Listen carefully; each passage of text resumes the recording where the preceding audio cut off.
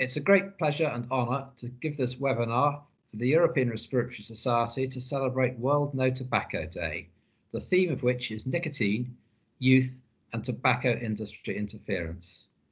I'm Professor Andy Bush, I'm a paediatrician from London. The aims of this presentation are firstly to review the effects of nicotine on the health of children and young people and the important consequences of nicotine addiction. I will discuss the acute toxicity of e-cigarettes and how importantly this differs from the effects of tobacco. I will summarize what is known about the long-term toxicity of e-cigarettes and the ongoing concerns of the pediatric community. I will highlight the absolute importance of a strategy to protect children and young people from physical abuse by the industry and the absolute importance of the current ERS position.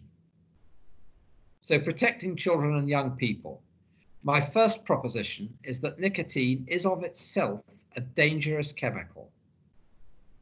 This is a pregnant woman, and what are the effects of cigarettes on her fetus? I'm going to summarize a lot of data quickly, and there's a lot more that I don't have time to, su to summarize. Firstly, nicotine of itself in this baboon model causes emphysema in the baboon pups if given to the pregnant mother. In this study, lung collagen deposition is increased by nicotine. MUC5AC expression is increased by nicotine. There is dysanaptic airway growth and airway hyperresponsiveness without inflammation. The airways are longer than normal. All of these are pure nicotine effects. But what else do e-cigarettes contain? It's not just nicotine, potent chemical though that is. In this study, 122 of the most popular EU brands were analysed by, by liquid chromatography mass spectrometry. 246 different flavors and additives were detected. All 122 brands contained additives classified as risky or dangerous on the globally harmonized classification scheme. Other than nicotine, only ingredients not posing a risk to human health should be used, so says the EU, and this is a flagrant and direct flouting of EU regulations. And these are some of the chemicals that have been detected. And I, for one, am not keen to have them inhaled into my lungs. I hope I've shown you some of the data that nicotine is dangerous. There's plenty more where that came from, but we don't have time. But my next proposition is that e-cigarettes have worse acute toxicity than tobacco cigarettes. This is the Jeff Drazen horror show from the New England Journal of Medicine, blast and burn injuries acutely when e-cigarettes went wrong. What about EVALI, e-cigarette or vaping product use associated lung injury? By January 2020, nearly 3,000 patients and 60 deaths had been reported. And you can see the data here. You can see the rapidly expanding numbers of EVALI patients. The apparent tailing off at the end of the graph on the right is likely reporting lag. And of course, more than 80% of these were related to cutting the e-cigarettes with cannabinoids. But importantly, 13% only used nicotine containing products. They did not cut the liquid. And the case in Nottingham with which I was involved was definitely due to a commercially bought product and not cut with cannabis. I would ask anyway, is it good public health sense to have hardware circulating in the community that can be tampered with to such lethal effect? And this acute toxicity is not seen with tobacco use. There is no such thing as that acute injury with tobacco. And I'd ask you to bear that in mind when we come to the chronic toxicity. The spectrum of EVALI is enormous. Multiple lung diseases, it's not just one condition caused by likely one toxin, but likely multiple toxins are implicated. I wouldn't try to read this chart in great detail, there are about 10 or 15 different EVALIs, likely all caused by different things. Cannabinoids are not always in play. Some of these are just with the chemicals themselves. I would put to you that the liquids and the devices are dangerous. And as a practice point for all of us, If we see somebody with a funny respiratory illness, the question should be asked, could this be due to e-cigarettes? And I'm ending this section with this picture taken from recently from thorax.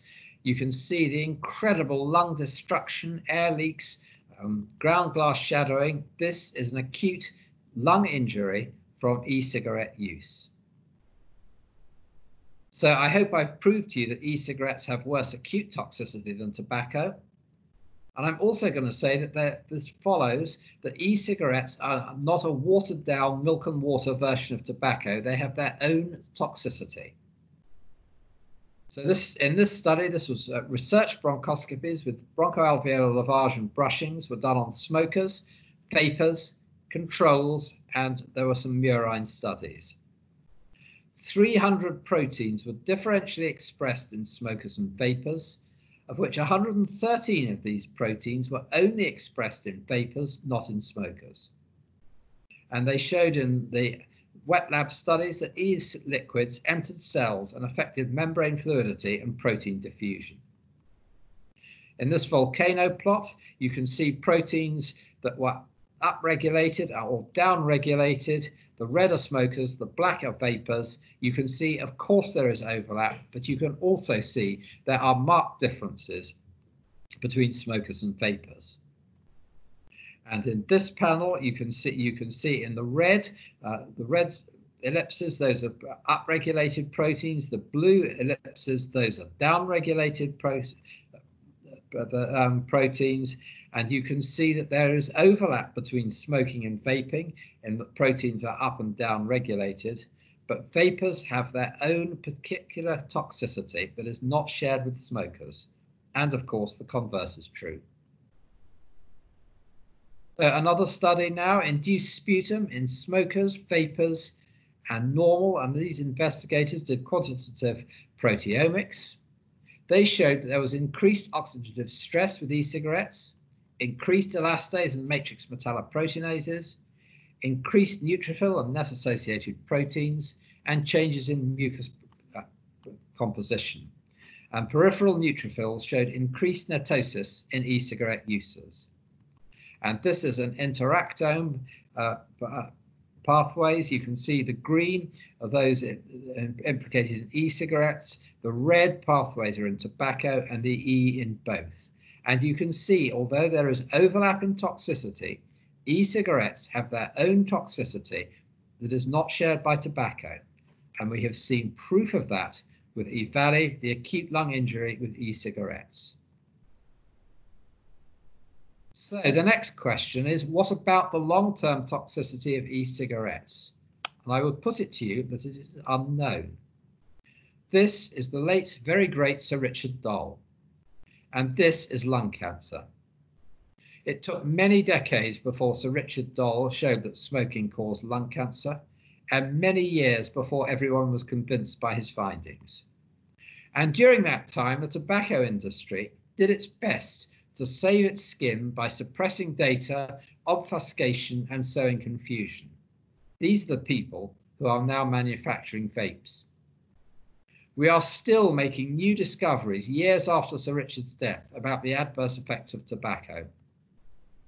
We know that e-cigarettes have more short-term toxicity than tobacco. Can we be happy that they have less long-term toxicity? Can we be reassuring about the safety of e-cigarettes long term? I would suggest to you that we cannot. The next question is the industry is winning the social media war, and this is really critical where young people are concerned. I owe this slide to, to Professor Tom Ferkol, and these are ways that, that e-cigarettes are marketed. This does not look to me like somebody marketing a product for smoking cessation. The advertising themes are similar to cigarette advertising, focused on freedom, rebellion, glamour. They've been marketed with a variety of uns unsubstantiated health and cessation messages. They're advertised in many parts of the world on radio and television. And social media has become a prominent conduit for marketing and advertisement and acquiring these products, things like YouTube and Facebook. So what about social media? This is Instagram posts. And this is a study that looked at nearly quarter of a million posts over four years. Vaping hashtags were used 100,000 times more commonly than FDA warnings. And indeed, when the FDA put out warnings, the, the effect was that there were three times more likes and six times more posts with more than 100 likes about vapes. Pods, which give you Juuls, which give you a nicotine surge, are very often talked about. And you can see here the, the sort of things that are being talked about. The bigger the circle, the more the, the more their posts are, and you can see it by things like promotions, flavors, user experiences, devices. Those of you with very sharp eyes will see a tiny yellow circle in the middle of that. That's the real cost of vaping. 46 posts against the thousands for these other things. And there are underage followers of these Instagram posts. So we are losing the social media war. We've got to have a coherent policy to protect children and young people. Among high school students in North America, e-cigarette use has risen from 1.5% in 2011 to 27.5 in 2019, a nearly 20-fold increase. Among middle school students, these are younger, increased from 0.6% to 10.5% in 2019. Juul use has risen, has more than doubled in a year amongst 18 to 20 year old Americans. You can see here on this graph, any tobacco product is in the solid lines, but look at the dotted, the dotted black line, e-cigarette use in high school.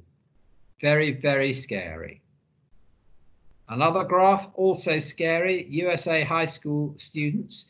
Look first at the gray line, that's cigarette use, and then look at the red line, e-cigarette use, going up and up and up. And I would point out that cigarette use declined before vaping took off. This is not the fact that vaping is protecting people from cigarettes, as the industry would have us believe. And note that as vaping has taken off, there's been no further decline in cigarette use. These things are not there to help you stop smoking. They are here to make you a nicotine addict. And these are some of the flavors. The FDA has declared youth vaping an ep epidemic. What are these flavors doing here? Are they really to help you stop smoking? The Surgeon General says we must do more to stem uh, what I see as an epidemic of the use of e cigarettes amongst teens and deeply disturbing trends that show no sign of abating. And most importantly, Scott Gottlieb said the FDA won't tolerate a whole generation becoming nicotine addicts the question of whether Juuls and e-cigarettes are a gateway to smoking is really not relevant to me. What is relevant to me is I do not want my children to be nicotine addicts. And e-cigarette manufacturers have been accused of deliberately targeting children and young people by the US FDA. And there is no question that they are. So we've got to have a coherent policy. The Federation of International Respiratory Societies, which includes the European Respiratory Society and eight other big international professional organization have made the following recommendations. These products should be considered tobacco products and regulated as such, including for taxation. The sale of these products to children and young people must be prohibited and these bans must be enforced. They are not being enforced. It's very easy for, for children and young people to acquire these underage, and they do all forms of promotion must be regulated and all advertising in the media, including social media, accessible to children and young people should cease. Flavourings should be banned. Regular surveillance should be performed to better understand the scope and health threat of tobacco products to children and young people. So the take home message is save the children, save our children from these terrible products. Vaping is promulgated by the tobacco industry those pillars of rectitude and transparency, and it is totally unregulated. So, for example, you can see nearly 8,000 flavour labels available on websites 2013 to 2014. Three years later, it was more than double, and the numbers are going up. Nobody knows what is in these liquids. Acute vaping reactions are worse than those of tobacco. So, how can we possibly be sure that chronic effects of vaping are less than those of tobacco? We just can't. It took decades for the long-term harm of tobacco to be detected. When will we know about vaping? The evidence that e-cigarettes are being marketed to children is overwhelming. Can you tell me a single biologically plausible model whereby vaping is a good thing to do? Fool me once, shame on you. Fool me twice, shame on me. We were fooled by the tobacco industry over tobacco. Are we going to be fooled a second time by e cigarettes? Thank you for listening. These are my grandchildren. These are the generation who need to be protected from these evil products. I leave you with a last thought, adapting a well known saying there are liars, there are damned liars, and there is the tobacco industry. Thank you.